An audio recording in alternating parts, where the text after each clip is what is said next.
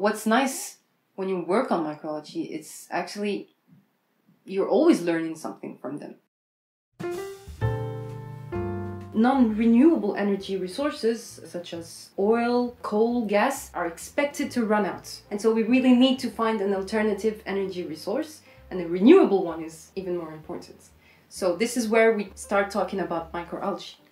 It's because it's a really great renewable energy resource. A microalgae is one cell, so it's really small, you can only see it under microscope. You can grow microalgae in pretty much everywhere. You can actually even grow microalgae in the deserts. Microalgae is really known for its potential to produce lipids because these lipids are used to produce biofuel. Today, we already have uh, in some places people who are producing biofuel, but it is still expensive. This is why we are trying to find new methods to extract lipids from microalgae. But it's not that easy because producing energy from microalgae is today still expensive, way too expensive. So, in order for it to compete and to actually replace everything, we need to find uh, methods to produce energy from microalgae in a much cheaper way. And so, for the moment, they use solvents to extract these lipids from microalgae. Solvents are expensive and they are toxic for the environment, for the cells, and less solvents means that it will be cheaper.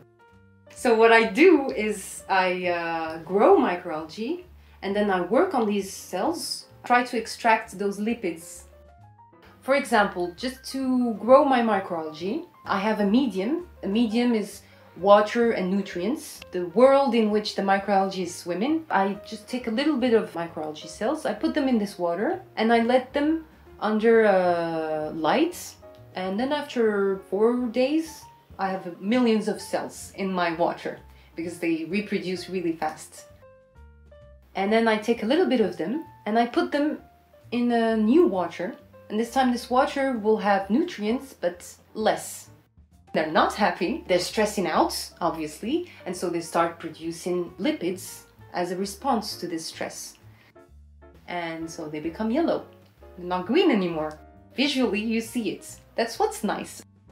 And then I take them, like I take a sample of microalgae, and I electroporate them.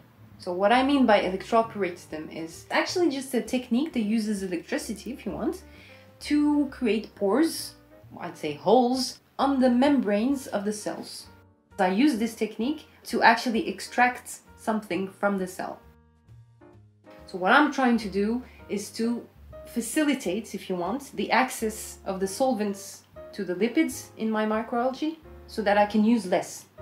We talk about milking microalgae because when you take milk from the cow, you take the milk, but you don't kill the cow. And this in this process, you're producing biofuel from the microalgae without killing it. I want to be able to use them again to extract again lipids from them. If this works, I really hope that maybe in 50 years the major energy resource will be microalgae. It would be perfect. It would be the perfect world.